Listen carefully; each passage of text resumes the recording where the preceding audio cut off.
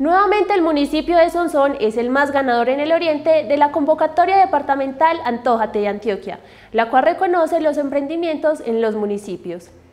Incluso Sonsón fue el segundo municipio del departamento que recibió más reconocimientos. En total, siete emprendimientos locales fueron ganadores de dicha convocatoria. Entonces, demasiado contentos, eh, tuvimos participación en todas las líneas, pero enfocados siempre en el desarrollo turístico y empresarial del municipio y el fortalecimiento como tal, que es lo que ellos quieren. Em, como proyectar en cada, en cada municipio y en cada empresario que se presenta.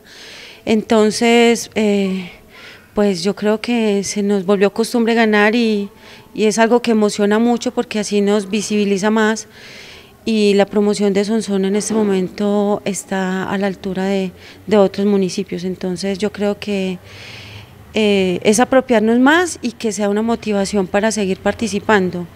Los siete proyectos ganadores en las diferentes categorías fueron Hotel El Tesoro, Hotel Boutique Maravilla, Zona Gourmet, Vivero El Molino, Hogar Juvenil Campesino Inés de Toro, Nutrafruit y Productos Sonsoneños. Entonces yo creo que es muy satisfactorio em, para nosotros, para el municipio, eh, para la oficina local de turismo, em, lograr todos estos premios y, tener el fortalecimiento para el sector empresarial y turístico en el municipio.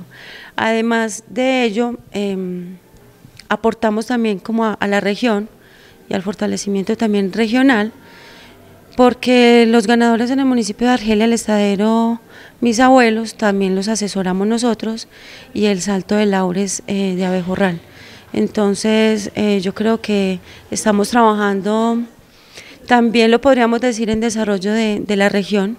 En el 2020, el municipio de Sonsón obtuvo seis reconocimientos y en la actual convocatoria siete. Se espera que con el aporte en recursos que se realiza a las diferentes unidades productivas, éstas se fortalezcan y generen desarrollo para el municipio. Los premios son 10 millones por unidad productiva y estarían representados en pues muchos pidieron el software, necesitan el software para la empresa, necesitan maquinaria. Los premios no se entregan en dinero en efectivo, sino que todos van en, bienes materiales. Este año la convocatoria tuvo muchísima em, aceptación y participación. Fueron 666 en total en Antioquia. Eh, yo creo que el premio es para todos, el premio es para, para Sonsón, el premio es para para que los otros empresarios se motiven y que crean que sí se puede y lo podemos lograr.